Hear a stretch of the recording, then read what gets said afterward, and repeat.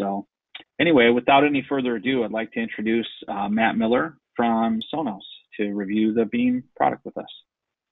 Awesome. Thank you, Rick. I really appreciate it. Uh, uh, hopefully everyone is able to log in okay and, uh, and see the screen. Uh, if you have issues, please just put it in the chat box and let Rick know, and we'll hopefully take care of that. so today, a quick little agenda um, that we're going to cover today is obviously, as Rick mentioned, we'll definitely be getting in depth with the Beam uh, to understand what that product is, uh, what applications you can use it for, and where it makes sense in your overall solution sets.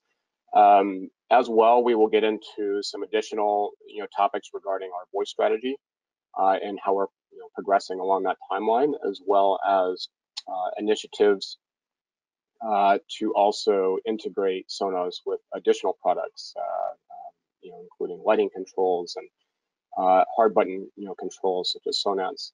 So we will cover uh, some of the works with Sonos partners. Um, and then lastly, we'll actually dive into some technical information, uh, particularly around best practices for Sonos networking. That's a very common topic uh, in all of my travels, um, you know, working with integrators that uh, are deploying Sonos and their rack systems or they're you know, using them in uh, single uh, unit deployments, um, you know, understanding the best practices around networking and Wi-Fi and, and how to configure for the best results. So uh, hopefully that will be of value to you. Um, but without further ado, let's go ahead and jump in. Uh, you see my contact information on there. Um, I cover six states, uh, including Michigan, Ohio, Indiana, Kentucky, West Virginia, and Western PA. Uh, been with Sonos about five years, uh, and specifically focused on what we call the installed solutions channel. Uh, so lots of fun to work with Sonos, and exciting times are ahead. So uh, hopefully you'll you'll see some uh, really cool stuff today uh, and feel free to reach out with questions in the chat box and uh, we'll cover those at the end of the presentation. So first off, uh, just simply, you know, what what is the mission of Sonos? And, and you know, to do something simple is often quite hard. Uh, so we have a very simple tagline, um, all the music on earth in every room of your home wirelessly. And that's a mission we've been on since 2002. And it's uh, something that drives every decision that we make in terms of product design, uh, how we think about software, how we think about app control, uh, and overall user experience. And that's one thing that I think has set Sonos apart uh, pretty much from day one, uh, is that we've been very focused on that user experience uh, to make sure that it's seamless, easy, and non-intimidating. and so, um, you know, to boot, with more music services than any other platform, over 80 to date, we give you you know, basically all the music on earth, uh, whatever you want to listen to, whether uh, you're into jazz or classic rock or anything, uh, we have a music service uh, hosted on Sonos that will fulfill that need. One of the things that we've been really focused on in terms of experience in the last year has been voice control. And so, as I'm sure you're all aware, you've seen the momentum of uh, products like Amazon Alexa uh, that has really transformed the marketplace in terms of how we interact with our technology. And we actually really, really studied this uh, as we thought about our voice strategy to understand how we can, you know, integrate that into Sonos uh, and make it in a way that, you know, again, was not confusing or intimidating. And so we call it humanizing home audio because, you know, if you're going to be talking to your technology, what what, what easier way is there to control it than actually speaking to it? That's the most human response possible. Uh, and we took it a step further because we didn't want it to be um, you know confusing in terms of setup or in actual operation. So I'm sure most of you have um, you know tested or have experimented with Amazon Alexa in your own homes, or perhaps you have customers that are experimenting with it and beginning to use it daily. Uh, you've probably seen skills out there that uh, sometimes they are uh, you know less than ideal because they have very complex uh, statements that you have to remember just to trigger a simple on command. Uh, and so we took that a step further by really integrating voice in a way that we feel is very natural, um, that doesn't require you to remember a specific syntax, that you know, just as simple as making a conversational statement like saying, Alexa, play jazz in the kitchen. What's more natural than that? That's how two human beings would talk to each other. And that's how we really focused on our voice integration. So you'll see that evolve over time, and you'll see that uh, our voice uh, continues to, to really drive uh, simplicity in the product. So last fall, uh, as part of that voice strategy, we launched Sonos One uh, in November of 2017. And at that time, we actually had Amazon Alexa built right into the product. So um, the ability to control your music uh, with the simple sound of your voice is a game changer because now we don't have to pull out that app and you know put our thumbprint on it to uh, to get it to wake up or put in a passcode. We can just talk to our speaker and actually have it play music, uh, you know, directly from the speaker itself. So uh, at launch, Amazon Alexa was built in. However, our, our, voice strategy is not to limit ourselves to just Amazon Alexa. We intend to be agnostic, much like we are with music services. So if you can imagine, uh, you know, having the ability, uh, you know, at some point down the road here to actually integrate with perhaps Amazon Alexa or Google, uh, or perhaps Siri, and have your choice of voice assistants. That's a very powerful uh, capability in our platform. Uh, that's something that's uh, not really being focused on by other vendors. And we believe in giving you choice. And so you can use either or uh, or both. Uh, and you can choose who you want to date in terms of your voice assistant. So uh, very powerful. And, and that development is ongoing with Google. Uh, so you will see announcements later on that you know, give you that capability through a simple software update. And again, that really drives home something that Sonos has always been known for is it gets better over time. So the ability to add that without any additional uh, dollar investment is, is pretty, pretty awesome. So with Alexa, what can we do? Uh, not only play your music, um, you know, via that Sonos speaker, that Sonos One that may be located in your kitchen or your hallway, uh, you can simply, you know, make uh, simple statements such as, uh, okay, play jazz in the kitchen, or okay, play uh, David Bowie in the bedroom uh, and be more specific right down to uh, artist, title, and track. So very specific depending on what music services you have set up.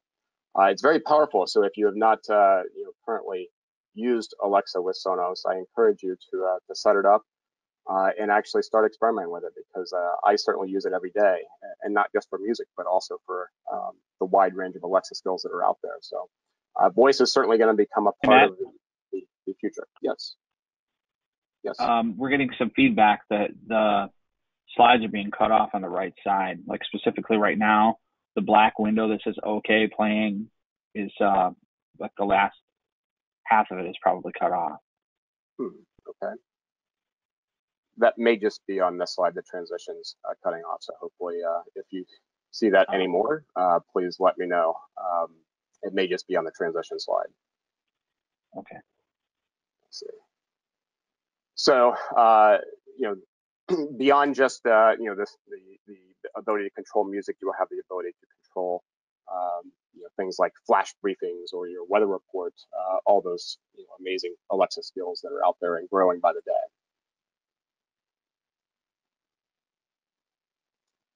Uh, just to make sure, Rick, uh, were you seeing this one full screen? No, it's definitely cut off. It looks like it's doing four by three and a 16 by nine.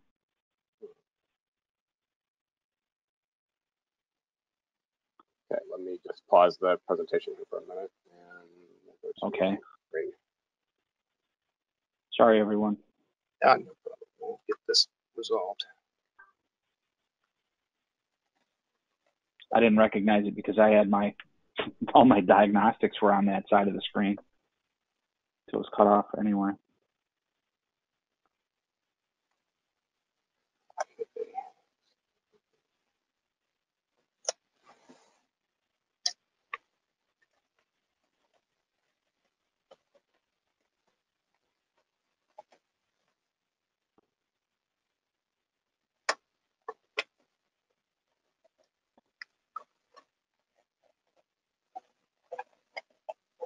One second here.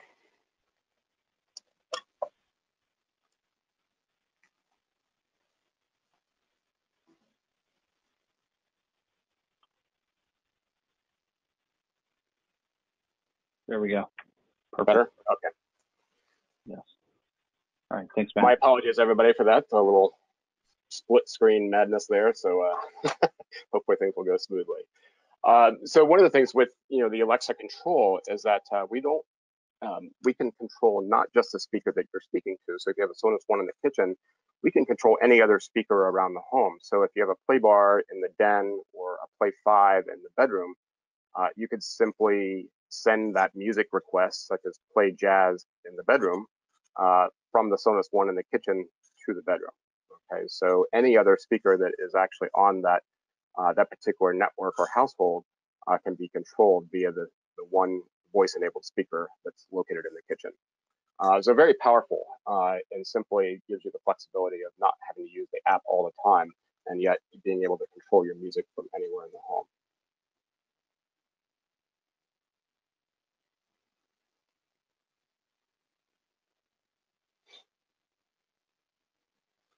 So this leads us into a product that we uh, just announced about three weeks ago uh, called the Sonos Beam. And the Sonos Beam represents um, about two and a half years of development for Sonos. And this is a, a product that falls you know, directly into the home theater category, uh, designed to work with your TV, uh, but we call it the smart compact soundbar for your TV. Uh, and just to set expectations right, because I've heard from a number of dealers that have uh, some experience where they they think that this is a replacement for Playbar. This is not a replacement for Playbar. Uh, where you spec Playbar today, you're going to spec Playbar tomorrow. Okay. Where Beam fits in is in those auxiliary rooms, and um, the Sonos Beam uh, with voice integration built in uh, is going to give you that nice to have functionality with immersive sound uh, that fits into those auxiliary rooms. Think so. Think think of dens, bedrooms, offices, laundry rooms, garages, you name it. Uh, being with a smaller form factor uh, and its compact design uh, and you know a, aesthetic appeal will fit into any of those spaces. So uh, really, you know, look at applications for Beam where you may not have been selling audio before. Now you have an opportunity to capture uh, at a lower price point in a smaller compact uh, form factor. So whether it's in the, the living room or the kitchen, again, a smaller you know, design uh, and yet still room filling sound is going to give you a nice application to put it on those smaller TVs that perhaps uh, were just being used with the TV speakers themselves in the past. And now we have an option to actually uh, give better sounding uh, TV audio as well as music because just like Playbar, uh, when the TV goes off, now it becomes your audio system for that space.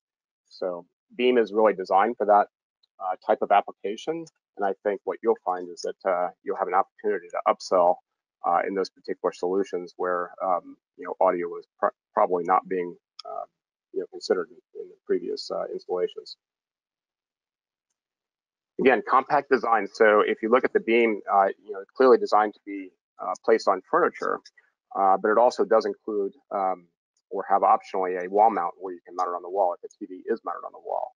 Uh, one of the nice things about Beam that I've found, um, I've had it in my home now for about three months, is that uh, you know, with its choice of color, uh, it really blends into my lifestyle. So, you know, having it in my office, um, I actually chose the white one because it blended in better with my you know surroundings, and it looks modern and sleek, uh, but not obtrusive. So I didn't feel like it was overpowering or uh, or standing out in my particular you know office decor.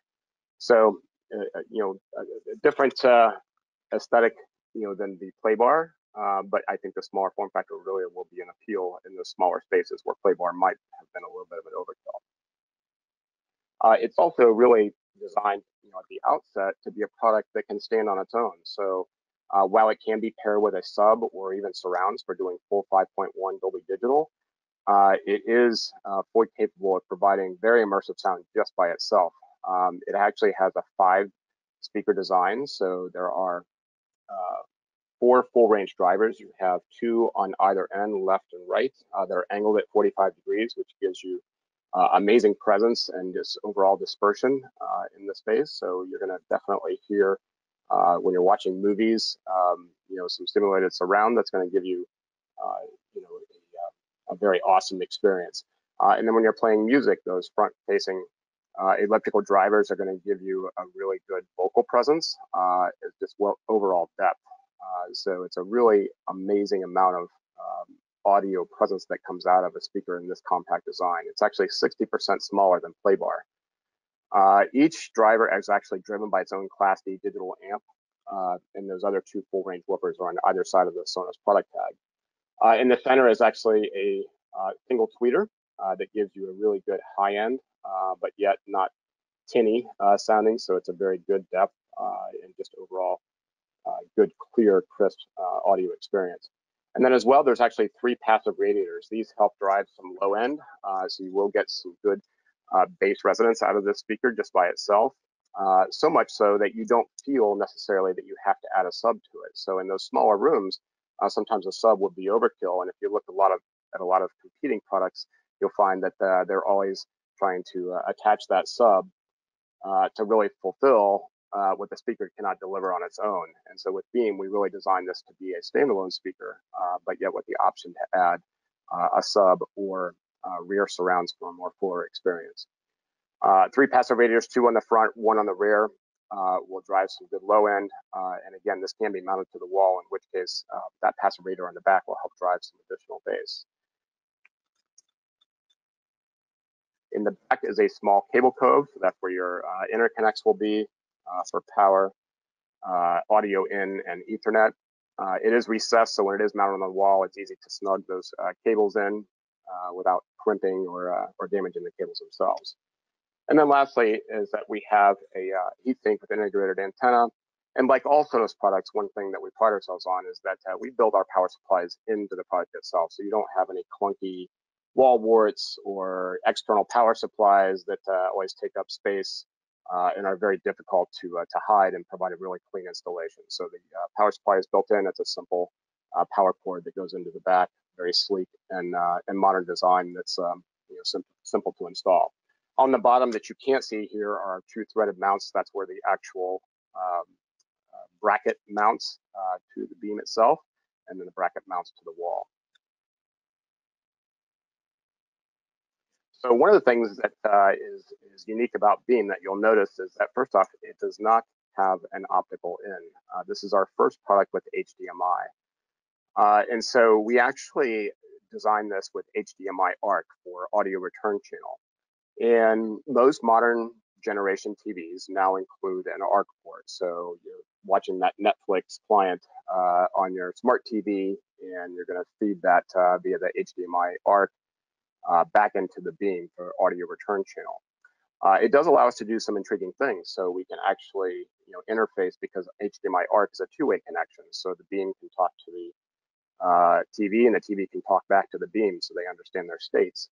Uh, through, so through consumer electronics control, we can understand the states of the TV and vice versa. Uh, so it does allow us to simplify some of the uh, you know the remote programming. So instead of you know clunky IR codes that uh, may toggle TV on and off or toggle an input that switches it to the wrong input and then you know, the customer is frustrated, uh, HDMI ARC uh, through CEC can allow us to maintain synchronization and give us a more seamless experience in terms of control.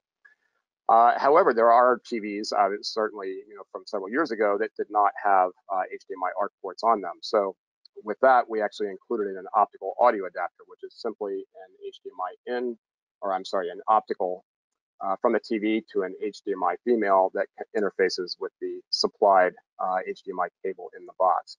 So every beam comes with this adapter. So if you wish to interface just like the playbar via optical, then you have that choice. Uh, that adapter uh, is custom designed for the beam um, and is only available um, as part of the, the beam sale. So uh, it is included in the box, and uh, for those older TVs, or if you just simply find that a TV is not compatible or it's not working well with HDMI ARC, uh, then this is your um, your Plan B uh, safety net to use the optical audio adapter that's included. Uh, I happen to use this in my demos because I have a smaller TV that does not have HDMI ARC and it works flawlessly. So uh, simple connectivity to a to a six foot included HDMI cable in the box. Uh, as well, we have a standard Ethernet port on the back, so designed to be used wirelessly, but however, you can hardwire it in. Uh, obviously, uh, cable or power cord connection, and then the pairing button on the back is simply for setting it up. Uh, one other thing that's actually included in the Beam that uh, is a little bit different from Sonos of past is that we actually include Bluetooth low energy. All right, so Bluetooth low energy is not used for streaming. We still use Wi-Fi, uh, always have, always will, uh, because Wi-Fi gives a better experience. It allows us that multi-room control, uh, as well as the higher audio quality. Bluetooth Low Energy is used for simplicity of pairing up. So, for example, you can um, you know, discover that device, and instead of connecting to you know a, a temporary uh, Sonos network that the product sets up to connect for the Wi-Fi credentials, uh, Bluetooth low, low, energy allows your Android or iOS device to simply connect via BLE uh, and basically you know shoot the uh, the wireless credentials into the product and get it set up uh, even faster and easier than ever before. So that's what we use Bluetooth Low Energy for. It's not used for uh, streaming, and that is not um, uh, supported in the product. It's only used for uh, the ability to set it up and and make the experience a little bit smoother. on the top of the product, you actually see that there's an array uh, of the uh, the capacitive touch controls that we introduced on the Play 5 several years ago uh, and carried over into the uh, the Playbase and the Sonos One, uh, where simple taps on the top of the speaker will actually increase or decrease your volume. You have your play pause in the center, uh, and then you also have a microphone mute button, which similar to the Sonos One will actually disable that microphone when you want to have privacy if you're using Amazon Alexa or any other voice assistant. There is an array of five microphones into the top of the speaker.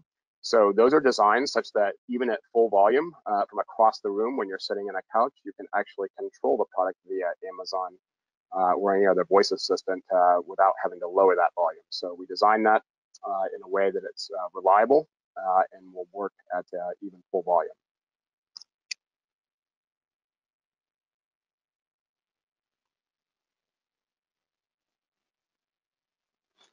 So today, uh, Amazon Alexa is built in, uh, just like Sonos One, works the same way.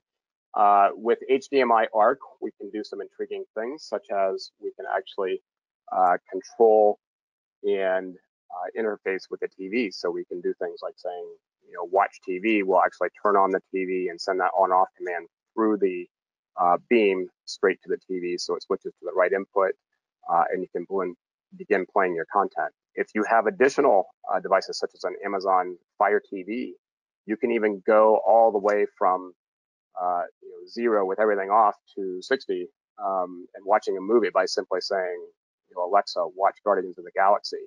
Uh, and by enabling the Alexa skill on the Fire TV, uh, that one command will trigger everything from an off state all the way to on to playing the actual movie. And that's really powerful once you set that up.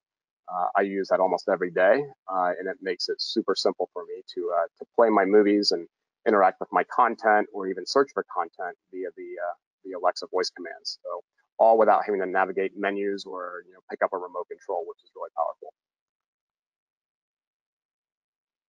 So we at Sonos believe that uh, you know by listening better, we're going to live better. And we believe that the Beam, uh, with its small form factor and just really rich immersive sound, uh, enables us to just live better because it's less confusing, a better experience overall, uh, easy for customers to understand uh, and interact with the product either via voice or via the uh, via the Sonos app, uh, and control you know not only their uh, their movie content but when the TV's off, the, the music content with over, over 80 music services available for them to to tap from.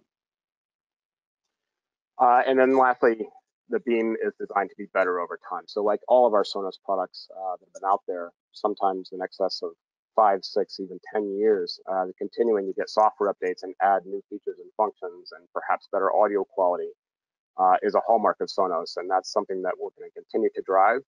Uh, so as I mentioned before with the voice technology, uh, the ability to add additional voice assistants in the future is very powerful and something that I believe sets us apart uh, as well as add you know additional functionality for features. Uh, one of which is coming uh, yet today, and that is actually AirPlay uh, to Sonos. So the ability to actually AirPlay to Sonos speakers. Uh, so I don't have a slide on this, but I want to just mention it is that AirPlay functionality is going to come to select Sonos speakers uh, via software update. And this is AirPlay version 2, which has actually been recently released by Apple. And what this allows us to do is, for example, take uh, any iOS device and effectively AirPlay it, much like you would to an Apple TV, except that you will just send that audio straight to a Sonos speaker. So imagine watching a YouTube video on your on your iPad and then actually directing that audio uh, in perfect synchronization over to a Sonos One, where you're going to have a way better audio experience than you would on that uh, on that uh, that laptop speaker. So uh, really powerful, but not only you know a YouTube video, but anything uh, that you want to direct in terms of audio from that iOS device. So imagine you know uh, you're watching or you're listening to Apple Music uh, via the Apple Music app on that iOS device, and instead of opening the Sonos app, you just want to direct it to the Sonos speaker. So via AirPlay, you'll be able to do that, uh, and that's very powerful and and and quite functional. I've been using it in my house for a couple months now, and I find it really, really helpful, um, particularly when I you know want to show a YouTube video, but I don't want to have to navigate that on a TV. I can do it simply on my iOS device and uh, and send the audio to something that's going to sound way, way better. So uh, AirPlay coming as a free software update. Now, only select speakers actually have um, the appropriate hardware to support AirPlay V2. Uh, so that starts with the Play 5 Gen 2 that was released in 2015, uh, continues with the Playbase, uh, the Sonos One, and now the Beam. All right. Now, if you have additional products such as a Connect amp or a Connect, uh, as long as you had one of the compatible products, uh, such as a Beam or a Sonos One, then you could AirPlay to either of those products, and then you can group in uh, the other products. So if you had a Connect uh, or a Connect amp that was driving some in-ceiling spe speakers in the kitchen, and then you had a Sonos One in the hallway. As long as you AirPlay to the Sonos One and then group the uh, the Connect amp to it, uh, you're going to hear that audio over both of those speakers. So uh, really options, uh, a lot of options there to uh, to make AirPlay a part of your uh, installations and give your customer better you know, customers better experiences. So kind of transitioning now, um, wanted to talk a little bit about what works with Sonos. So this is a program that we started several years ago, uh, and we're continuing to add to the uh, the number of companies that now have integrations with Sonos. So uh, one of the big ones that we've had for a number of years, and it's it's really great partnership is Lutron. So you know the ability to actually blend, uh, you know, lighting and sound is uh, you know just incredibly powerful because it sometimes you aren't doing those full blown control systems and you want to do some uh, light automation. So if it's just a couple of you know scenes where you have some lights uh, and some shades that uh, interact with Sonos, where you can trigger some dinner music when the uh, the lights go down to 60% and the shades go up uh, or shades go down, then you know you can program that in the Lutron app and actually configure that scene, or even some geofencing where when you come home it will configure that automatically. So really simple to set up. Um, and then you can also use the Lutron Pico remote to actually control Sonos uh, via hard button. So if you,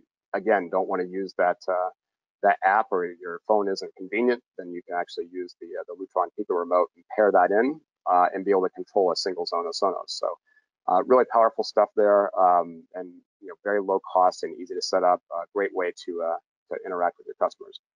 Logitech, another one uh, obviously, you know, a very well-known brand name remote, particularly around single room control, but uh, you can use their app and actually control Sonos uh, as well, um, you know, via a play bar or you know a simple standalone product. Uh, great way to to program in uh, Logitech control in addition to your Sonos system. Uh, another hard button control iPort with the iPort Express keypad you know, it's a great way to interact with Sonos again when you know that app control is um, you know just not always convenient. Uh, you're walking in with a armload of groceries and you want to you know just get the music going. Then that one button press on the uh, uh, on the keypad will get the music going, um, and you can raise and control that volume on that zone, and uh, it can figure out how you how your clients need. Uh, uh, particularly for older clients, that makes a lot of sense because a lot of times they may not be the best at using apps. So the list goes on. Uh, lots of other integrations, uh, certainly in the pipeline, but uh, you know keep tabs on this because we're continuing to announce additional integrations and uh, and, and, stronger ones with partners all the time uh, because we really believe in an open platform that gives you the flexibility to control your web.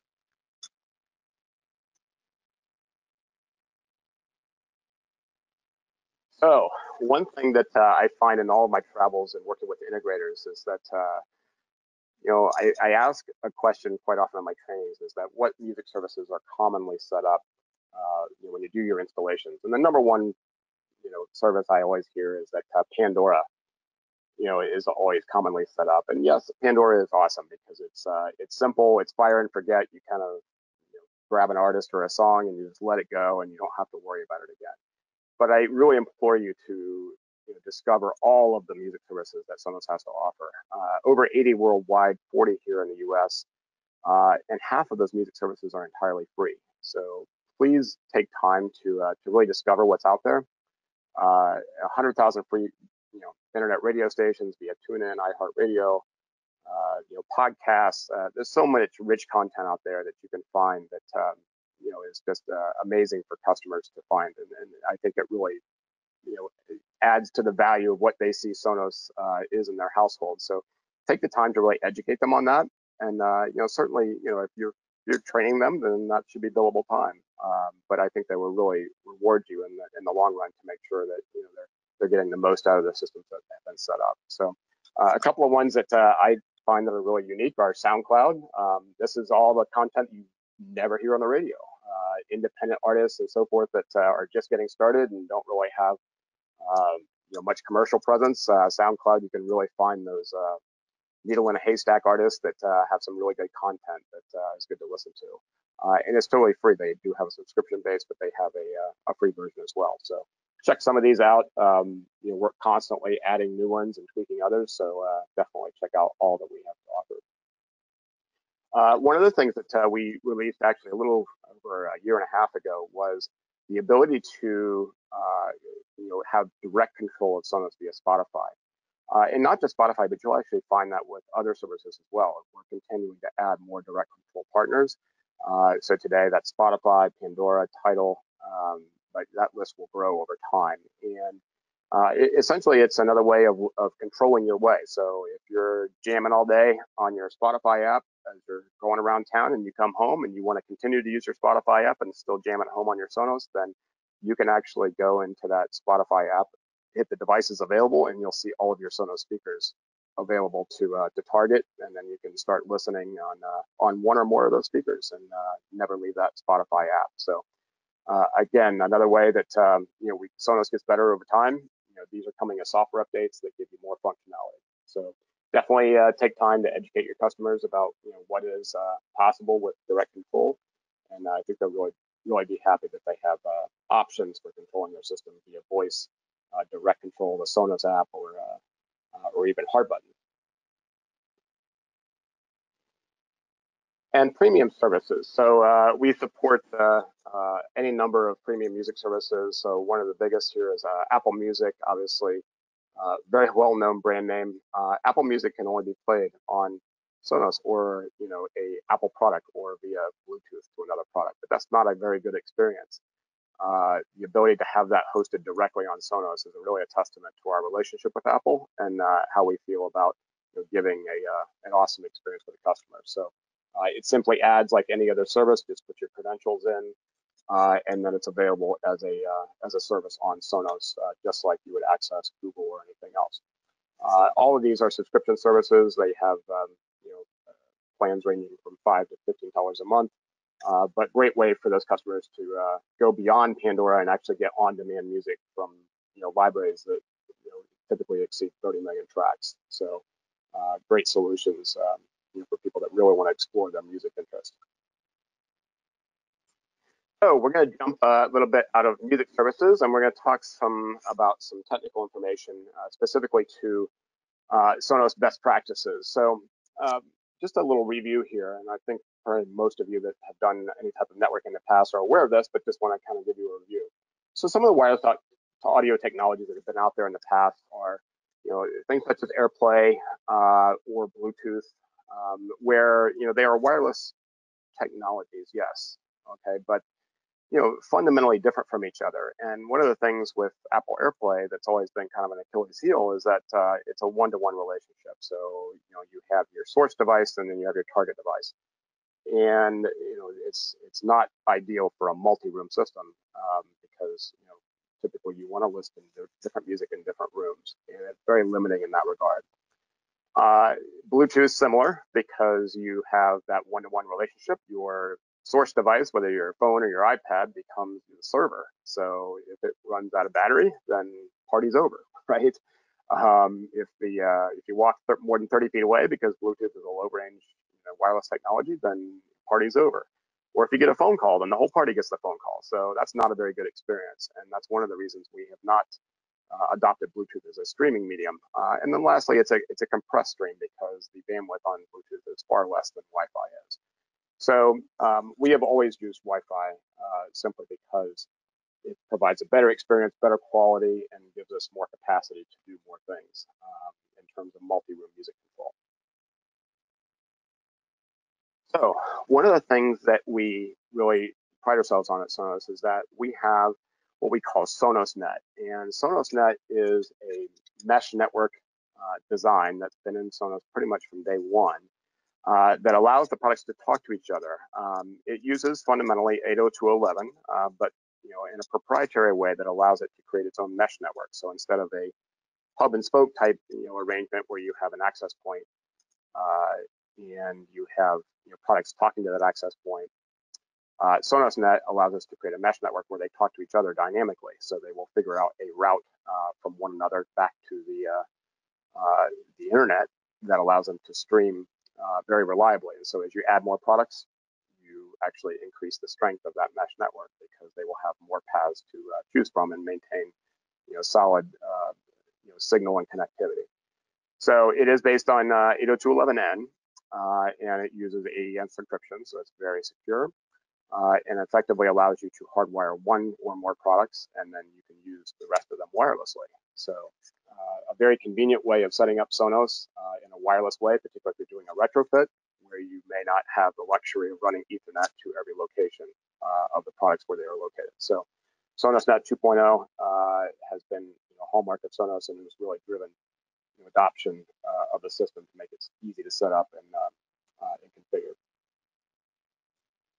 So every every product is a transmitter and receiver. So it's all dynamic, nothing you have to configure other than actually adding products. They will figure out their own routes and paths and uh, configure them configure themselves dynamically as the uh, as the environment changes. One of the products that really help that SonosNet uh, configuration is the Boost, uh, and the Boost is typically used uh, really as that first wire product because oftentimes the uh, the network is such that the cable modem or the router may be located in a cabinet or somewhere that's um, not not easily uh, accessible by a speaker or a connector or a connect amp. So the boost can be that first wire product. It basically hardwires into the router, and then everything from that point you know, from that point forward becomes uh, you know part of SonosNet. So it just creates that mesh network, and then the uh, the boost actually uh, is the one hardwired piece um, you know that connects to the uh, the router itself. So I'm sure most of you have um, uh, you know seen the boost or used it in your installations. Uh, I have a number of dealers that I know that uh, they spec one at every single job simply because it is that utility piece that makes it really easy to add product later on. Even if they are hardwiring products in the rack, they put that boost in there so they can add a wireless piece later on. Uh, so first off, networking first steps. Um, one of the things that we want to do when we you know, start a Sonos network is really scan for what else is out there. Because we are a wireless technology based on the 802.11n, we use 2.4 gigahertz, uh, and we want to make sure that we're not intruding on or you know competing with uh, a lot of wireless networks. And we all know how many wireless networks are out there. There's tons. You do a scan, you'll probably come up with 20 just in you know any typical household that are in the neighborhood. So we want to make sure that we're, uh, you know, obviously operating on the least congested channel. So a number of tools that you can use either via laptop or via Android phones that, um, or even iOS to some extent, uh, you know, to scan for those wireless networks that are in the area and actually choose the uh, the best channel um, on the least congested, um, the least congested channel for the uh, for environment that you're in. So uh, we had a uh, release about two and a half years ago that allows us to actually create uh, a different setup uh, scenario for Sonos, uh, Sonos on Wi-Fi. Now, one thing I want to make you guys aware of is that Sonos on Wi-Fi is really designed for um, those more simple setups where maybe you're doing a, uh, a Sonos one or a Play one or a couple of standalone products, maybe a couple of Play fives um, that you know are typically located in the center of the home and they're you know easily accessible to the to the Wi-Fi signal. Uh, and perhaps this is where you know they're using more of a consumer grade router, you know something that's very you know common in a smaller home or apartment or condominium. Sonos on Wi-Fi is great because it allows a customer to get set up very quickly. Um, there is no wired connection required, uh, so you don't have to use a boost or anything. You basically use the products, power them up, and configure them for the Wi-Fi network that's already present in the home. Uh, it may not be the best solution if you're wishing to scale this up. Uh, so if you told me that you were going to install 10 Connect amps in a rack, I would definitely recommend that you're uh, you're going to hardwire those into a switch. So uh, just be you know clear about what the expectations of Sonos on Wi-Fi are. it's only as good as the Wi-Fi network itself, right? So if the Wi-Fi is poor uh, in that particular environment, it's an older router, um, that may not be the best solution. Um, so we're at the mercy of how good that Wi-Fi coverage is. Uh, and if there's a dead spot, then that's not going to be a good placement for a Sonos speaker. Uh, the other option is a dedicated Sonos network. So this is uh, you know leveraging Sonos Net, where we actually hardwire one or more products. Um, uh, the Boost being a, a, very common first wire product um, to start the network. Um, so this is going to give you the benefit of having you know all those Sonos pieces talk to each other and actually create a separate network from Wi-Fi that is not subject to uh, dead spots or it's not subject to just overall traffic on Wi-Fi. You know, if the customer had one, uh, you know, Wi-Fi router, um, say a Linksys, you know, stuffed in a cabinet somewhere, and then the kids come home and they all start streaming Netflix after five o'clock, and and boom, the network comes to a halt. Well, if Sonos is, you know, competing for that bandwidth, then it may uh, experience issues as well. So we want to make sure uh, we're just you know inventorying what uh, what's out there and make sure that we're you know, not um, trying to overload that wireless network. If that's the case, it would be better off to go with the dedicated Sonos net. One of the questions that comes up quite often uh, is, do I use a managed or unmanaged switch? Because uh, the price difference between managed and unmanaged is uh, narrowing, right? So we find that products such as Luxul or Ubiquiti or um, you know even um, Meraki or a Ruckus, uh, you know, those, while still a little bit of a price premium, they are definitely coming down uh, in prices. So, you know, do we use a managed versus unmanaged switch? Sonos will work with either unmanaged or managed. The key is, is that we have to make sure that if you're using a managed switch, that we enable a protocol called spanning tree protocol. Okay, spanning tree protocol uh, is at the heart of the Sonos. We'll make sure that we are using that um, you know, and configuring the managed switch for spanning tree. So uh, in an unmanaged switch doesn't matter because unmanaged switch is not going to inspect or look at those packets. It's just going to pass everything uh, uniformly. And so an unmanaged switch, you can hardwire those you know individual connect or connect amps that might be in the rack straight into the switch, and life is good. Um, you could then trunk that switch into your upstream router, and everything will uh, work as expected. Um, if you're using a managed switch, just make sure that you actually enable spanning tree protocol. I know in a Luxul, that comes out of the box by default now on all of their current switches. Uh, other products may differ, so just make sure that STP is enabled.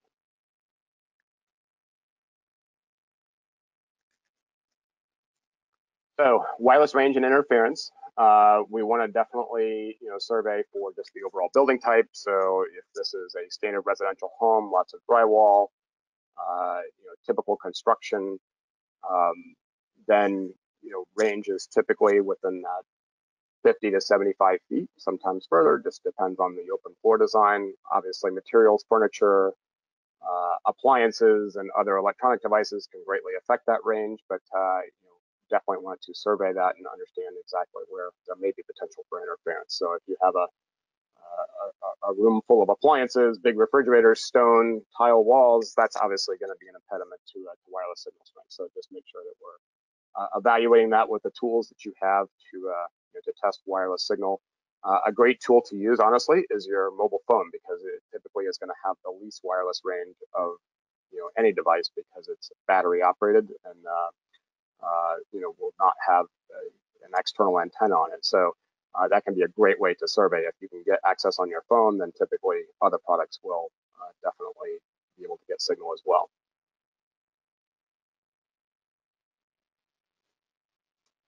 Uh, and when you're, you know, when we're setting up a, uh, a Sonos network with Boost, um, you know, the, the ability to overcome those range issues is simply because if we have, um, you know, for example, a, a Boost that's back in the uh, in the den in a cabinet, uh, and we put a Play 5 in the kitchen, you know, it will leapfrog from one to the other to create that Sonos network. Uh, and then it will provide, you know, additional range for a Play 5 that may be located in the far corner uh, over in the living room. All right, so uh, as we add more products, certainly it will increase uh, that range and density, and it gives additional paths for, uh, that signal to travel. Sonos uses exclusively 2.4 for streaming. All right. So one thing that not a lot, not a lot of people know is that Sonos also uses 5 gig in some products. uh, for home theater applications. So for example, when you're playing a play bar and you have that surround going uh, to a couple of play ones used as rear surrounds, uh, as well as a subwoofer, uh, you know, all of that surround information as well as the low frequency effects actually go over five gig radios um, uh, instead of 2.4. and that's to decrease the latency and maintain the audio video synchronization. So music streaming and just overall you know, uh, content that comes via the internet or via local libraries or via your phone is actually going to traverse 2.4. And so in that sense, we only um, you know, support three non-overlapping channels. So in 2.4, there's 1, 6, and 11. Uh, within the Sonos app, you can actually configure that uh, and identify what uh, channel Sonos is going to remain on. So uh, definitely, you know, as part of that network survey, understand what other networks are out there, what are operating at 2.4, and what channels they are operating on. So we want to make sure that, uh, for example, if the Wi-Fi network in the home is operating on channel one, that Sonos is set to six or 11. Okay, and I know in some cases you're going to have multiple access points. Uh, we just want to make sure that wherever the Sonos you know, products are located, we're trying to stay uh, on the least congested channel um, in that particular zone. Uh, one of the things that we can do there is um, you know, on those access points, is to disable auto channel. Okay, most um, you know, standard access points will come out of the box set with auto channel, in which case they will survey, um, you know, typically at startup, and then you know at some random interval they will survey the uh, uh, the landscape to understand you know what other wireless networks are out there, and they may choose a different channel uh, at any given time. And so the problem with that is is that um, Sonos is going to stay static right? So once it sets its channel or you set it manually in the app, it's going to stay on that channel until you change it again. It does not auto scan uh, after it's initially set up. So if we set um, you know those access points to auto, then you know we have the potential where it could actually you know step onto the channel that Sonos is actually operating on, and uh, that may happen when Sonos isn't actually functioning. So it may be at night, uh, and then we have an issue because uh, now there's an interference with two uh, products operating on the same channel. So uh, it's best to set your access points to, to a static channel, and then you you know exactly where they're going to stay and where Sonos is going to stay.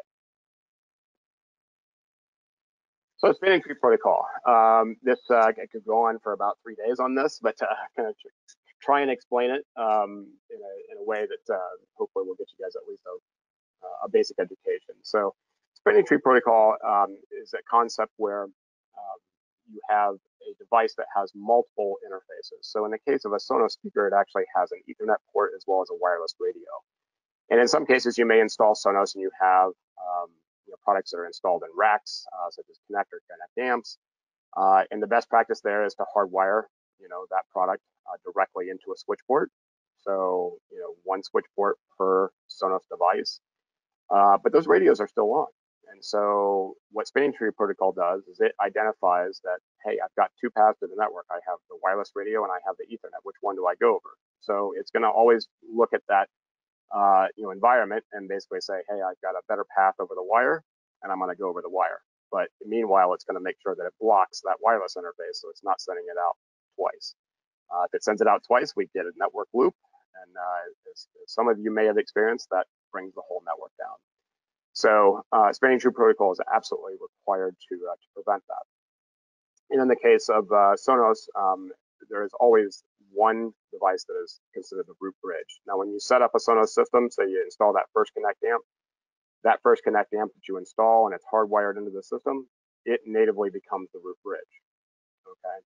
Uh, what we don't want is for the root bridge to get moved around. So it's unlikely, but it does happen occasionally that a customer may say, "Hey, I'm going to move that Connect amp over, you know, somewhere else," uh, and then that Connect amp still is the root bridge, but it's now become you know a wireless piece, and that's obviously not desired because wireless is less reliable than a wired Ethernet connection. So uh, just be aware of that that um, you know that root bridge we definitely don't want it to, to move. There is a way to change the root bridge if you need to later on, but um, uh, the root bridge should always be a wired device. That's the, the lesson to learn here. And in uh, Spanning Tree, you know, we, we create that mesh network. Um, we disable the, uh, the interfaces where there are two paths and we choose the least cost path uh, to get from uh, you know, whatever speaker, say point C back to point A.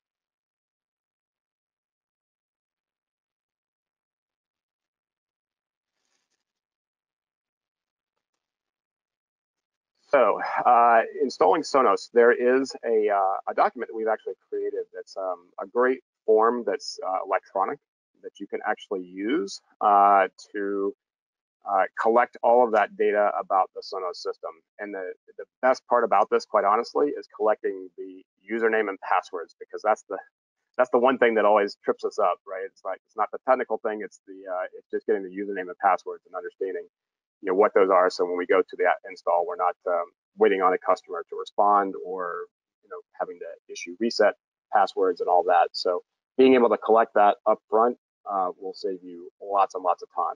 But additionally, you have uh, ways to you know uh, identify what the names of the players are going to be. Uh, so it's den, kitchen, bedroom, lounge, you know, pool. I can document all that and then store this as a part of your overall system documentation. So uh, we have this available, um, you know, available from the uh, gentleman at AllNet uh, for distribution, and they can uh, you know send that out to you. It's just a simple PDF, uh, but a great way to kind of organize your Sonos install to get started. So here's a scenario that I'm sure many of you have seen. Uh, we have multiple Connect amps in a rack. Um, first off, placement of Connect amps um, is such that thermally, you do not want them to touch their cases. So when they're installed two by two in a rack like this, uh, you do not want those aluminum cases to actually touch each other because they will act as a giant heat sink and essentially amplify the heat in each one. So maintain separation between both the Connect amps themselves as well as the rack uh, walls uh, and you will be fine. You can, however, stack them directly on top of each other. In this photo, they are actually on shelves, but uh, if you were to stack them on top of each other, that's okay. Uh, they are designed for ventilation in that case. Uh, you just don't want the cases to actually touch the, uh, the aluminum sections together. Uh, as I mentioned before, the best practice when installing Sonos in a rack is to hardwire each one independently into a dedicated switch port. Okay.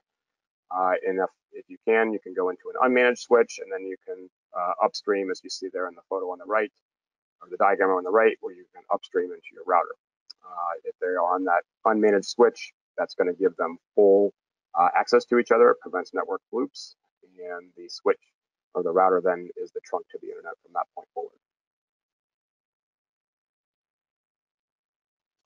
One thing that uh, you know I, I, mentioned a little bit earlier was that you know I have installers that you know put a boost in every system. Uh, that's really convenient because yes, you have those you know 10 Connect amps in a rack, but then you know what if the customer says, hey, I want to get a Sonos One and put it in my hallway? Well, there's no Ethernet in the hallway, so now I could hang that wired boost off of that same switch and it's going to provide a Sonos Net Cloud that I can then add a wireless component to. So that could be that Sonos One that uh, just sits there in the hallway or the kitchen uh, and does not need Ethernet um, attached to it. And then the rest of the system is all, you know, in-ceiling speakers via the Connect amps. So that's a great way to kind of future-proof the installation. Uh, very low cost to do right at the front, um, and it's going to give you the uh, ability to add that Sonos or that wireless product later on.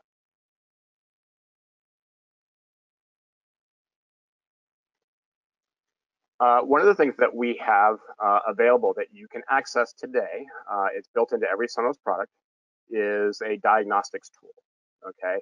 And the diagnostics tool is actually a great way for you to kind of double check um, your installation before you leave the home.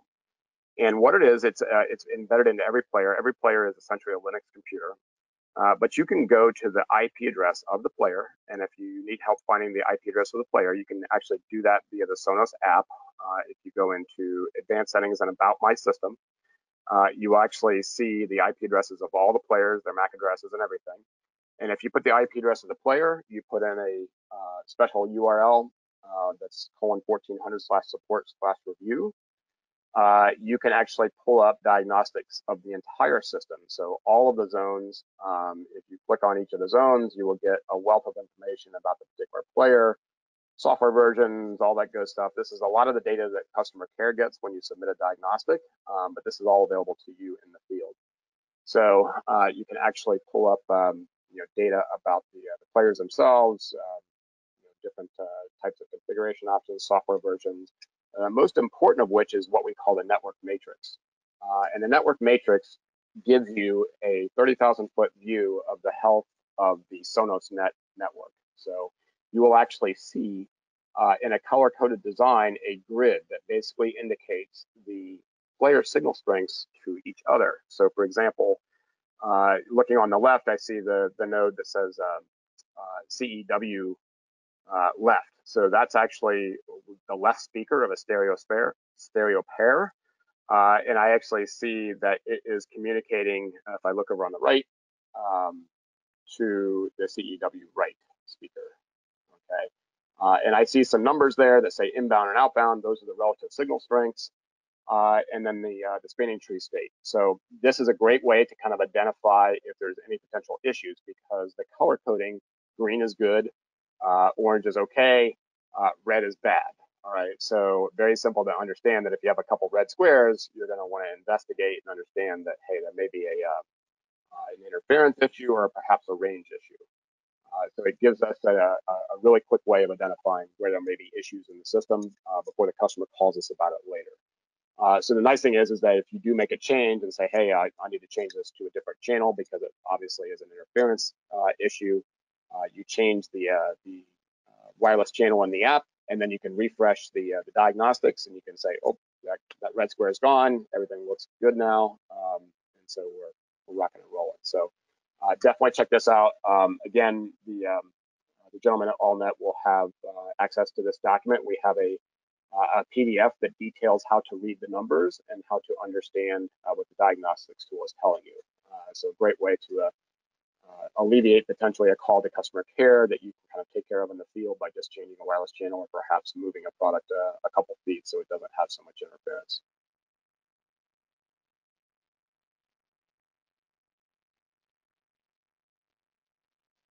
And lastly, uh, it does show uh, where the root bridge is. So if you have any doubt as to what is the root bridge, or if you want to verify that it is that wired component, uh, then the root bridge uh, will be displayed in the diagnostics tool. Uh, and this, uh, again, is a, if you have a situation where that root bridge needs to be changed, um, there is a, a, special URL you can pass to the player to change it to something else if you want to move a connect amp from one location to another.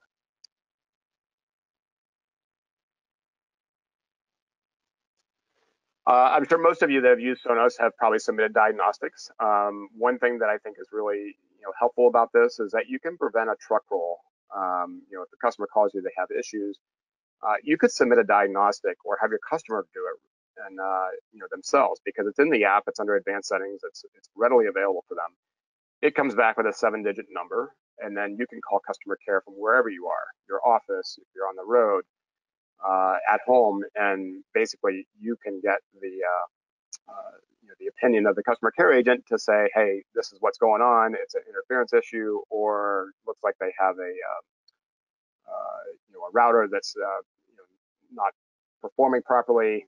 Um, but they will be able to dig in and uh, give you at least some idea of what's going on with that customer. And perhaps it means that you don't have to do a truck roll and you can diagnose it remotely, or perhaps it's an issue just because of the way they're using their system or something, but you know they they can dig in and give you that data, so you're not going out you know uh, unarmed with uh, information about what's happening with the system. So a great way to uh, uh potentially you know eliminate a truck roll and uh, and take care of getting something resolved uh, remotely.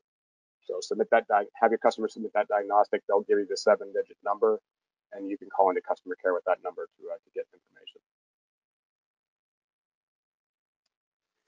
So app uh, we're continuing to evolve our app. Uh, we always say that our app is the best way to control Sonos because of the search functionality, the overall you know, ability to organize and manage your content via Sonos uh, favorites and playlists. Um, you know, we had the My Sonos feature back in uh, December, which really gives you more and more control um, and power over how you organize your music, uh, whether it be radio stations or playlists or specific tracks.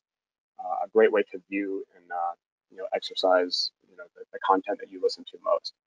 Uh, so definitely uh, you know always educate your customers on you know our app. It's equally featured on iOS as well as Android. Uh, and will give them the, the best overall experience, particularly when they use a search function to search for the content they're looking for. Uh, we do have a dedicated uh, Sonos customer support team. Um, we have digital support via Sonos.com. Uh, a very, very extensive knowledge base. Um, lots and lots of great articles, very deeply uh, detailed technical articles, uh, particularly around networking, uh, interference, um, you know, setting up local libraries if they have a NAS drive, they want to use their own content, or if they want to do streaming.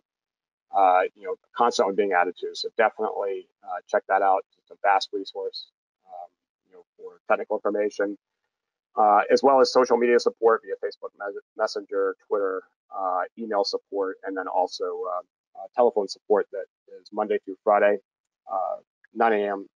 to uh, 10 a.m. to 9 p.m. Eastern Standard Time. We have teams that are based in Boston and Santa Barbara that will handle questions, and we're continuing to add resources to our customer care. but as always, um, you know, certainly let us know if you know if there's um, things that need to be escalated. Uh, you know, we'll certainly you know, assist you in the best way we can. Okay, so uh, lots of content there, I know, uh, in a short amount of time, but uh, so this is a home sound system, uh, giving you all your music everywhere.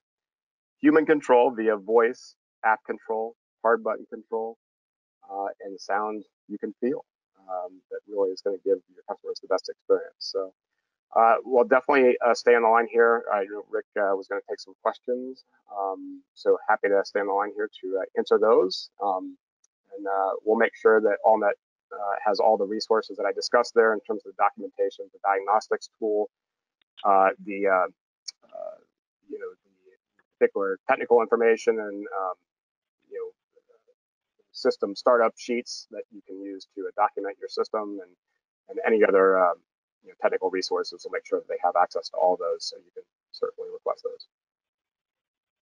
Cool. Okay, Matt, we do have some questions that came through. Absolutely. So we have a couple on voice control, and then we have a couple on AirPlay, okay. and then we have some comments about the diagnostics and the uh, client survey and setup documents. So okay. I'm just since the comments have been coming through, I'm just going to go ahead and send everyone on the call uh, a copy of those documents so that way everyone has them. Um, and uh, the question that came through, uh, let's I guess start with the the voice control. So Matt asks if we're going to be able to group zones using voice commands. Uh, I believe that is on the roadmap that uh, uh, we're continuing okay. to add functionality uh, for additional, you know, Sonos specific um, operations. Uh, so stay tuned on that. Um, definitely something that has been a big request. Uh, but yeah, the, the voice is always a, a picture in time. Um, you know, what's there today will not be there. I mean, there'll be more there. Um, you know, in the next couple of months. So lots of uh, additional things, you know, are planned for voice control with Sonos, additional, you know, commands and features and, and so forth. So that definitely is uh, certainly a, a very large request. And I think that that mirrors the experience with every other vendor. Voice control is only getting better and better as uh, people have time to use these skills, and then we can give feedback and they can be refined. So and I like the fact that Sonos is um, constantly improving these products. This, uh, some of the other questions that came in are about AirPlay. That totally blew me away. Um, that that's just yeah, it just works now.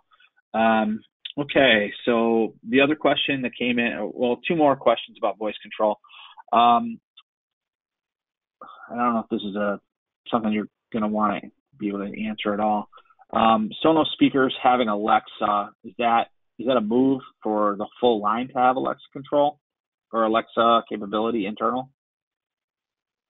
Well, I don't think it would be a stretch to say that you know we will have uh, um, additional you know emphasis on voice in, in future you know products. So that would be uh, I think that's a given. Um, what I would say is that uh, you know Alexa is a you know, today we have the ability to operate, you know, even non-microphone enabled Sonos products via Alexa. So you don't have to have a Sonos One or a Beam to use Alexa with Sonos. You can use an Echo or a Dot and you know use Alexa with Sonos. So um, even our older products, you know, Connect and Connect Amp can be controlled via Alexa. Uh, you just have have to have a microphone enabled device, and so whether that's a Sonos One or a Beam or a uh, or an Echo or a Dot, that that capability exists today. Um, and so you know, we anticipate you know this similar uh, strategy going forward is that um, you know we would have um, you know seamless control across you know the entire product line, whether it uh, has microphones or not.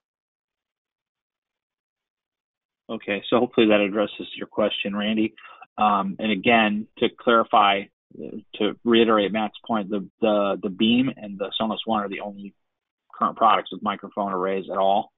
So otherwise, uh, an Echo or a Dot or some other uh, Google Home or whatever would have to be used once the Google, you know, the Google integration is uh, announced. You talked about, you spoke about that earlier, so I'm not like speaking yes. out of class here. No, not uh, at all. Okay. I mean, okay. Google is uh, absolutely that that development is underway. Okay, perfect. All right. So the last question about uh, voice control is that now that the Beam has an HDMI connection, and you talked about CEC. Is the CEC going to have any role in uh, control over the displays that the, the, beams are connected to? Uh, yes, today that uh, is a you know it can control the the power state uh, of that display. Um, you know, as long as it's connected via that HDMI ARC connection, uh, which is the only two-way interface. So you have to have it into an HDMI ARC compatible port on the display. Uh, but yes, it, it does have that, um, and that was you know kind of like the scenario in which you have a uh, a Fire TV on that display, and you say watch Guardians of the Galaxy. Uh, we go from a powered off state to you know fully playing the movie. Uh, you know, power on of the TV, you know, correct input, and you know activation of the uh, of the stream of the movie stream on the Fire TV, all from that one voice command. So that's all happening via CEC uh, and Alexa uh, integration with the Fire TV.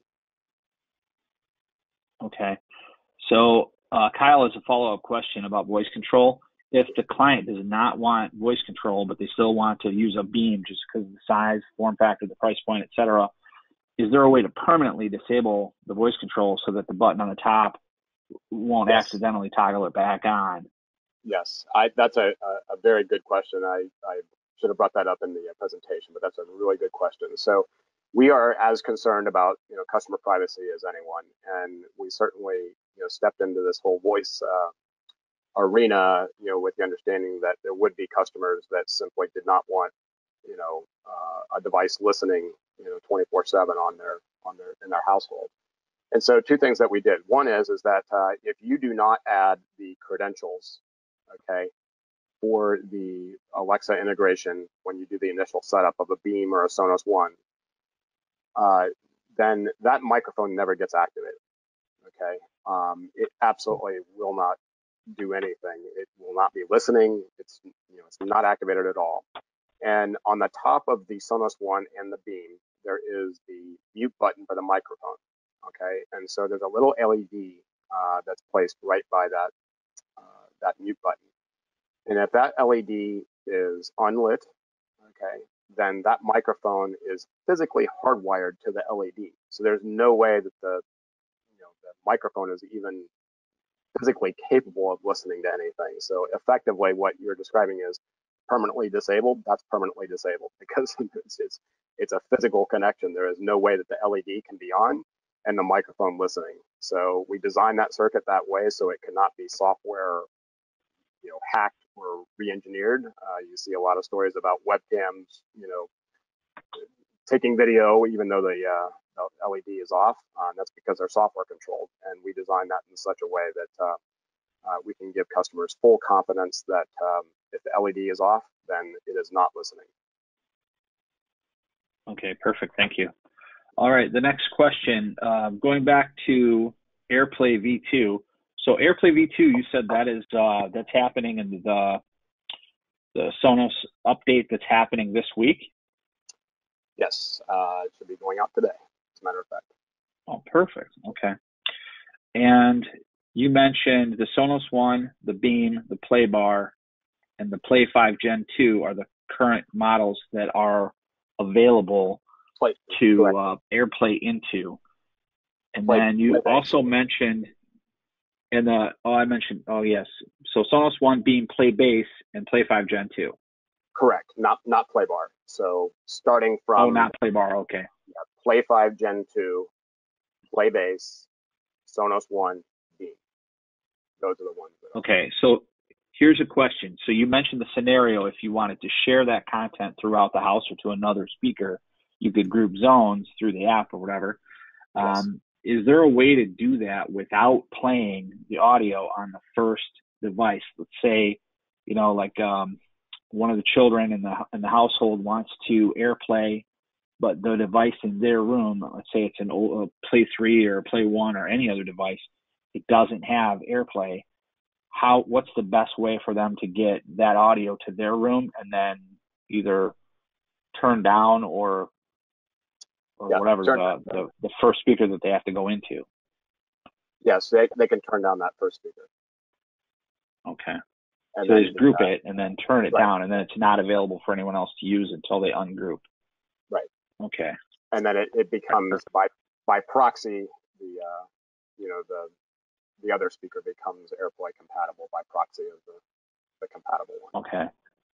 And at that point it's just a shared source like any other line input on any Sonos product like we've been doing since day one. Right. Okay, perfect. Okay. Um, so the next question is is will the boost have that? Will the boost ever have that functionality or one of the, non-speaker devices have that functionality where we can just go in and uh, AirPlay into uh, a common item that's that's wired to every other speaker? Uh, today, no. I mean, today it's it's um, yeah the, the- boost is Okay. it- not involved in the audio streams um, at all. It's simply Okay. there as an extension product, um, and and it does not handle any any uh, you know audio input or output or you know, functionality like that. Uh, no, there's Okay. Um,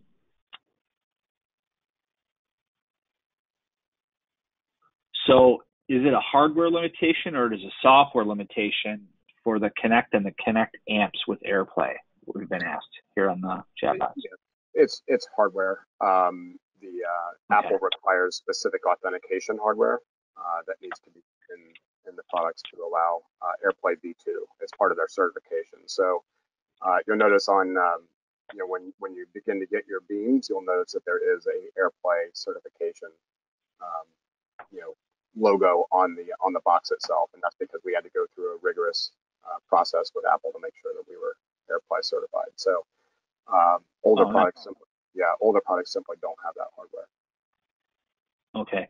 So, Kyle, to answer your question, if you've got homes with a lot of Connects and Connect amps, um, it talk to them about a Play 5 Gen 2 or a Beam or a, a Play Base or a Sonos one. Um, A Sonos uh, One Daniel, A Sonos One can make Yeah, a lot of uh, sense because you could put it in the middle of the home, you know, and it becomes a, a, a voice gateway as well as you know an AirPlay gateway. perfect. Okay. Uh, Daniel, yes, this webinar is recorded and we will uh, share that link with you so you can share it with other members of your staff uh, who were not able to attend the live event. Um, okay, the next question. Uh, Kyle is asking specifically about a Wi-Fi brand that we sell, um, Eero. Uh, does Sonos work well with Eero? So Matt, you're, I would love to hear your opinion, and then I can share some experiences from our side as well. Uh, I don't have a, a, a ton of personal experience with it. Um, it's more anecdotally what I've what I've heard. Um, we have you know a good relationship with Eero. Um, we certainly have you know engineers that consult with each other. Uh, in fact, one of our former trainers actually is their national training manager now. So we do have uh, a, a good relationship with Eero. Uh, certainly, we respect the, the architecture because it's basically what SonosNet uh, has been for the last 10 years.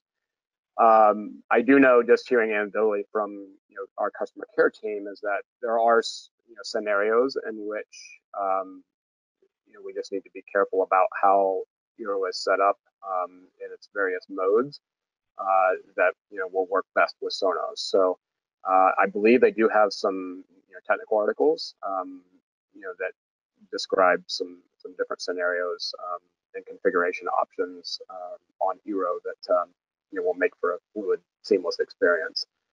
Uh, but they they are I assure you that customer care is fully briefed on on Eero and is very knowledgeable about the product and they understand, you know, the different scenarios where it uh, comes into play with its, you know, its mesh uh, networking design and so forth. And so, uh, you know, I, I, know there's a, a couple of different um, technical articles and uh, scenarios in which they've been able to uh, to address um, in cooperation with Eero as, as well. So uh, there is dialogue between the two companies about what's you know what's best and what isn't supported, what is, and, and so forth. So uh, that's that's what I've heard, but I, I, I can't give you any personal experience because I just have, have, not had the product in my home. Okay, from our side, um, our Eero trainer is Paul, and Paul has uh, over a dozen Sonos devices in his house, and he obviously is using Eero exclusively for his uh, for his internet rig or for his network rig. So what I was told is that um, set your Sonos devices, specifically if you have a Sonos Net as well, set it on the highest possible channel, so channel 11 on the 2.4, because the Eero defaults to the low channels and Eero auto scans. So, it, but it always auto scans starting at the lowest channels. So if it's constantly looking for its own pathways and Sonos Net is doing its thing, if you set your Sonos Net on the highest possible channel, then you'll have the least possibility for interference between the, the Eero side and the Sonos side in the same home. Um, and then obviously, you know, hardwiring is best, and there's a two-port switch on every Eero. Uh, let me see. Next question. So, uh, Jim is asking about multiple racks. So, if you've got a switch in each rack, what is the best practice for uh, hardwired device, hardwired connects and or connect amps and racks when there's multiple racks and possibly multiple racks the, in different locations on the same property? Yeah, great question. Um, you know, essentially, I mean, if you were using that scenario, um, which sounds you know, fairly complex, I would I would venture to guess that you may be using uh, managed switches in which case, you know, as long as we follow that recommendation of enabling spanning tree protocol on each uh, switch that a Sonos device is hardwired into, then you should be, um, you know, clear across multiple switches. So if you had a, you know, switch in the main lower level, uh, and then perhaps you had one in a utility room on the second floor, and it's trunk, um, you know, via you know one Ethernet connection up to the uh, up to the second floor. Uh, and then you had you know additional Sonos devices um, hardwired into the switch upstairs. Uh, as long as STP is enabled on both of those, then it will pass. Um, you know the Sonos speakers will be able to uh, to pass their uh, you know their individual states and path information you know amongst each other. Uh, we just wouldn't want a situation where you have a um, uh, you know one enabled with STP and the other one not because then you could definitely create a network loop. Uh, if, if you weren't using managed switches and you're using unmanaged, then you really don't have to worry about anything because it's going to pass the, that information transparently from switch to switch. So, you know, you would hardwire your, your lower level players uh, into the master switch, and then have a trunk line going to the, uh, the remote switch, and then you can hardwire additional players into the remote switch, and it will work fine. Uh, we've used that similar type of scenario, like at CEDIA events, where we may have, you know, a master switch that handles all the in ceiling and in wall stuff, uh, and then we're doing, you know, other standalone players um, just for reliability because of CEDIA being not a very friendly wireless environment. Uh, we'll have remote switches that might, you know, tag into a play bar or something like that, and um, and they work absolutely. And we used Luxul in that scenario, but uh, it worked totally fine um, the STP passed from switch to switch, and it was all good. Perfect. Okay. And Jim, if you don't like cascading switches, contact us because we've got stackable switches that you can connect through SFP uh, using fiber, and then it all behaves like one big switch anyway. So yep. we we've got multiple ways to skin this cat. Okay. Um, the next question. Oh, I skipped through here.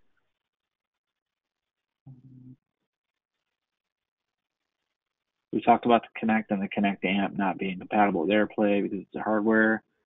Uh, so Joe's got a question that wants to do. He wants to use external amps with a Connect, and he wants to know. Oh, this is more. This is an old school audio question. So the line output of a Connect, um, how many, um, how many amps can one a single Sonos Connect drive? Uh, You want me to tackle it? yeah, yeah. I, I, Okay. I. So, Joe, you use a, a product called the distribution amp. Use a line level distribution amp, and then uh, you can take one uh, left right audio output and split that up into it's either six or eight. So we've got um, a couple different companies that make them. Um, also, check your amplifier to see if it has a bus input. So you might be able to go into a single input and then through software or toggle switches or depending upon the models of the amplifier these multi-channel amplifiers a lot of times will allow you to take a single input and then bus that across uh, multiple channels so it's a it's specific to each um, multi-zone amplifier that you're using and if you if you need help with that uh, give us a call and we'll be happy or either you know contact your in this case you said speakercraft but uh, either their tech support can walk you through it or give us a call and we'll help you with it. Okay. And Joe replied, he says the amp does have the bus input. I think we're good, Joe. Just give me a call if you need help with this. Okay, I think that's it for for Q and A. Awesome. All right. Very good. So, any Um, final comments, Matt?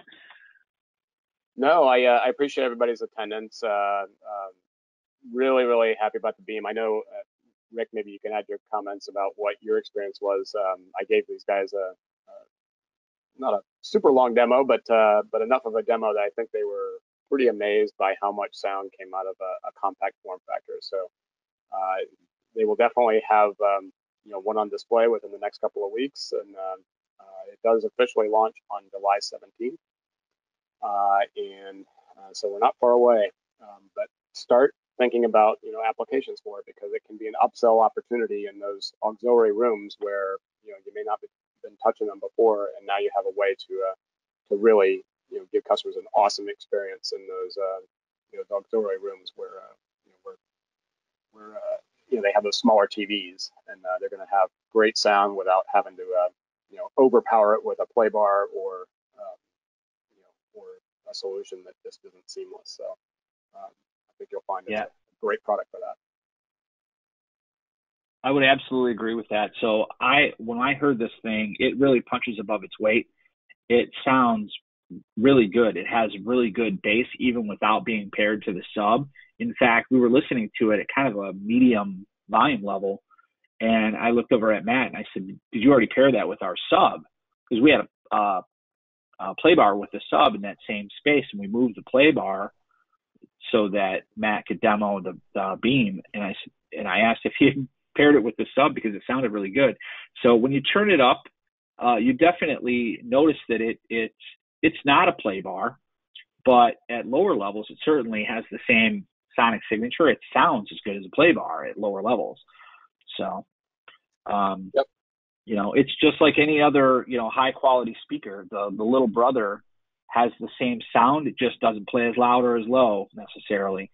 Um, and to Matt's point, you know, this is absolutely perfect for uh, master bedrooms or like the guest bedrooms or the kids' room or something like that because people are always putting in these 55s and these TVs are at uh they're you know the price points are lower and lower each each year it seems like and it's hard to sell a $700 soundbar with a $600 TV but the price point of the beam just it, it slides right in so I think we're going to see it's not going to be a replacement uh, it's not going to replace other soundbars that you're already selling. It's going to be supplemental. You're going to have more rooms of Sonos in these homes, which is always a good thing. So, um, Daniel, yes, uh, Daniel's coming down for one of our uh, trainings in the branch. So um, we've been told that our our uh, inventory as well as our uh, showroom units are shipping. If they haven't shipped today, then they're shipping any day. Matt, when do you expect this product to be on the street? Uh, officially July 17th. It'll be on the street, sold in all channels. Um, I believe, okay. yeah, you guys should have product ready to roll by that date. Um, but I will. Yeah, I didn't know what I was allowed to say, but yeah, I think uh, Wally sent out an email that our product is either on the road or or uh, on its way. So um, if any of you have uh, some pre-orders to place, go ahead and get them in because I can tell this product's going to be on uh, allocation at AllNet. So we want to make sure that uh, you know if you've got uh, customers that are waiting for this type of thing, let us know and we'll make sure you get your product shipped in the first wave. All right, I think that's uh, that's it for us today, Matt. So absolutely great presentation, and thank you for sticking around for the Q and A and uh, addressing all, all of these questions. So if anyone has any if anyone has any uh, follow up, um, again, my uh, email is rick.murphy at allnetdistributing.com. I'm happy to uh, to help. So thank you everyone for attending the webinar today. We're going to go ahead and close the webinar now.